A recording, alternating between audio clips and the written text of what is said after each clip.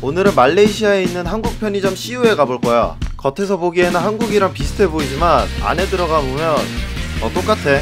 그래도 뭐 다른 걸 좀 찾아보자면 떡볶이 파는 거? 어, 이거밖에 없는 것 같아. by the way 나는 해물맛 신라면이랑 불닭김밥을 골랐어. 라면 끓이는 기계 사용법은 안 알려줘도 되지? 내가 GS에서 파는 불닭 치즈김밥을 좋아하는데 이거 먹고 마음이 좀 바뀌었어. 근데 이거 4,000원이야. 당신은 지금 김밥 한 줄 4,000원 시대에 살고 계십니다. by the way 해물맛 신라면이라 해서 기대를 좀 했는데 사실 아람 새우탕 맛이랑 똑같아서 뭐 다른 얘기 할 필요가 없어. 사실 말레이시아에서 찍을 게 없어서 의미부여해서 찍은 곳이야. 오늘도 영상 봐줘서 고맙고 다음 영상에서 보자.